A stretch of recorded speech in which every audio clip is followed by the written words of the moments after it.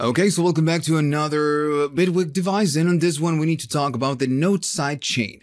So first I'm going to show you what we have, and then we're going to work with it. So I'm going to go and show you, I have some nice pad right here. Very, you know, just a background sound, pretty much.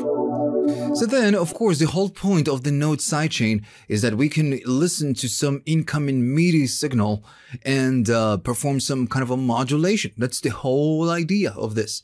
So right here, if I go to the uh, to the organ, uh, notice it. We have some, some kind of motion right here. We get one, two, three, one, two, three again.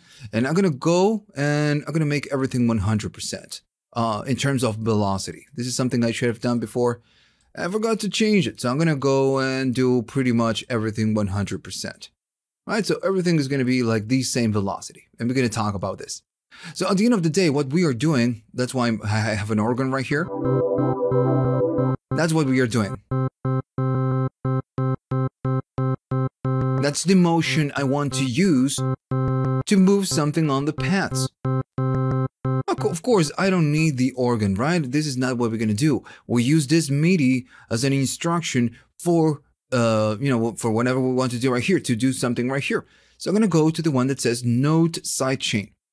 So now this note sidechain needs to listen for something. It can listen to the incoming MIDI, or, you know, if you're using a MIDI or maybe a synth, and we're to talk about that in a minute. But the trick right here is that we are using a sound. So we need to listen for something else. In this case, is going to be the organ. If I go to the organ, notice that we are getting the MIDI instruction right here. So I'm going to go and select it.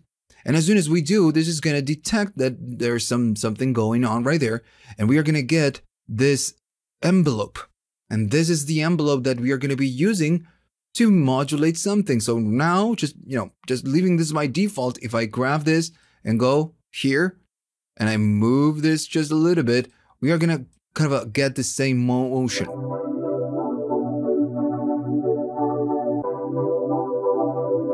Right? So pretty simple.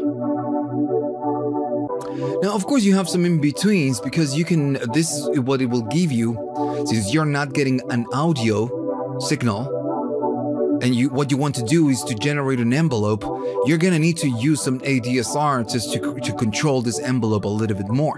Now, the attack is going to be how hard the initial is going to be, you know, how long is going to take to get to the initial peak. And notice that the sound will start here and it will go and slowly go to the highest peak. Since we are doing that and this is super slow, we are not getting anything off the envelope. We just need to do something right here. Maybe that's cool. You can of course go all the way in on this one. And it's a very sharp transient. Then of course, since you're going up, you're gonna need to go down. And this is of course how ADSR works. As you're going up, you need to go down right here. So this is going to be how long it's going to take from going down from the peak to, you know, something. So if I do no sustain, notice the envelope changes quite a while, quite a bit. And if I make a longer decay, notice that this is going to be so long that we are almost kind of, kind of never coming back because we are playing different notes it's just different ways of creating or mangling this uh, envelope. If I go to a very short decay, it's very short, it's like a pluck. And this is of course is going to be reflected in how this is going to move on the mountain with the modulation, because that's the whole point, right? Maybe a little bit of decay is nice. Alright. Now, of course, since you're going up, you, this is going down, and we can actually see on this right here, on this tiny point. I'm gonna go down the release and we can see it a little bit better. Goes up and then goes back really quickly. Right? So the sustain is going to decide if you want to stay in between. So if I go up and up and up, this is going up, but it's kind of a sometimes staying right there in between. Now, if you go all the way up on the sustain, it's going to stay there at the top. And if you provide more release, the release means what happens when you release a key. And this is, you know, we are releasing a key right here. We are not holding keys. That's what, you know, the MIDI is doing. Since we are not releasing keys, we are releasing the keys. We can go right here and the release is just gonna make this a little bit smoother. So again, just different ways of working with ADSR. Maybe you already know how this works, how ADSR works. This is the same idea. Shorter, bit more body.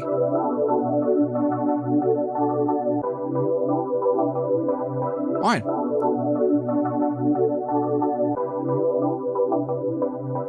Let me just do something like this. I'm gonna do a little bit of the uh, peak, maybe not that much. And okay. So then you have the all the way. You know, right now we are going from this point and then we are going up. You know, we're going to positive. And this is what this means. You're going up with this envelope. So if I go down, it's gonna go the other way. Right? You're going into uh, negative. And this, of course, We still got the same motion, but it's gonna go the other way. Pretty simple. Alright, so I'm gonna go into positives. So right now, again, remember, we are receiving this instruction from the organ. And the velocity of all the notes are just the same. So when we go right here to this sound, we are getting always the same peak because the velocity, how uh, you know how strong we play the keys is always the same. But what happens if I want to introduce a little bit of variation? Maybe when we do right here this, I want to go and do something else with the velocity. This is what these ones are not going to be like super high, let's say. Now, if I do something like this, notice that nothing changes right here all the peaks are the same. And this is because this is going to be listening to the velocity of the incoming MIDI signal. And right now we are doing nothing. So if I go all the way up, now he's going to be listening to that change in velocity and we see it right here. Those three are going to go down on the envelope. So this will reflect on the movement right here. Super simple. Just, just one of the easiest uh, modules on Bitwig, along with the audio sidechain. Pretty simple. And you get something great because now, with whatever sound, you can go and do something crazy right here and get, you know, a very controlled uh, modulation. That's the whole point. So what happens if we wanted to uh, use it on a synth? Right, I'm gonna go right here, stop it, I'm gonna go and stop it and just play this one. So this is gonna be just a, a pretty dumb kind of a arpeggio. Pretty simple. I, I'm adding a little bit of delay and a little bit of reverb because if not, it's just gonna be uh, a little bit annoying. And I want to do the same thing. I want to follow this motion, whatever is that we are doing right here to do some kind of modulation. So we do the same trick. I'm gonna go to the note sidechain and instead of selecting device input, and notice it's, it's telling me device note input, and it's doing something. This is listening to the incoming MIDI signals from the ARP. Right? So you can even do this. You can use this to do some kind of modulation. And it's just gonna go and do it. Now this is not what I want to do. So I'm gonna go and just maybe remove it what I want to do, I want to listen to the organ. And notice that at the beginning we get nothing. And uh, I'm gonna go and stop it, and I'm gonna go and do something. And this is a this is a bug. And I'm gonna maybe just show you the bug if it's letting me. Okay, so it's just not letting me. And this is a bug that I got from before. Maybe if, Bit, if Big Bitwig is listening, I am on the version 4.07. Uh, sometimes this one out uh, the sidechain will not listen in, listen to anything right here at the top. And notice that we just don't get anything. We don't get something. You know, it's just staying right there. It doesn't matter if I do this. It doesn't matter if I, you know, change to a different thing. Sometimes it's going to reset it, sometimes it just won't. If I do the nose device input, now notice that it's not receiving anything, it's not doing any motion, but as soon as I go and move it, I guess it's gonna it's gonna work. No, it's not working. Okay. So this is a this is a bug that uh, some we get with this note sidechain on this version of Bitwig. I'm gonna save the project and I'm just gonna close it and open open Bitwig again, and it's gonna work. Okay, so back right here, I'm gonna go and open the project I made this I made for this called note sidechain, and now I'm not doing anything. I'm just opening opening this, and I'm gonna go right here and select the organ as a device, and I'm gonna go and play it, and now we get it. Yeah, it's a bug. I, I, gotta be a bug, you know? But now we are getting that instruction. So what we can do, we can go and do some some kind of a modulation. I don't know, do whatever. Maybe go crazy and do unison. Maybe go crazy and do a little bit of sub, a little bit of shaping. Why not? And maybe a little bit of noise.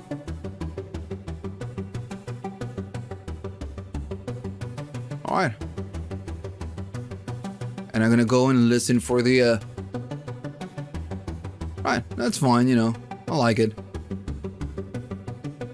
So if you pair with the other one, it's just a completely different sound because now we have this motion.